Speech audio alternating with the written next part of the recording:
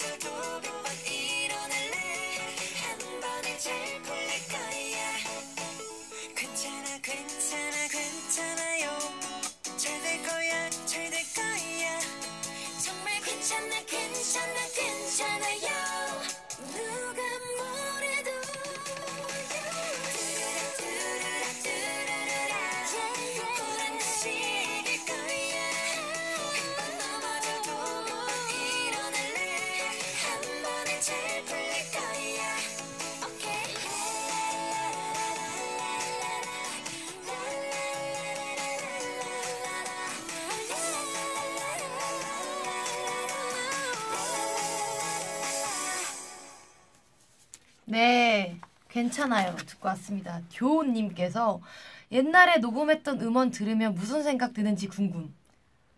어, 창피해요.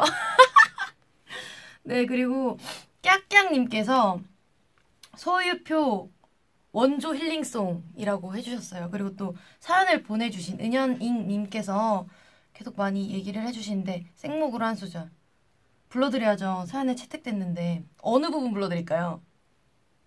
가사를 딱 찝어주세요. 그러면 한 소절 불러드릴게요.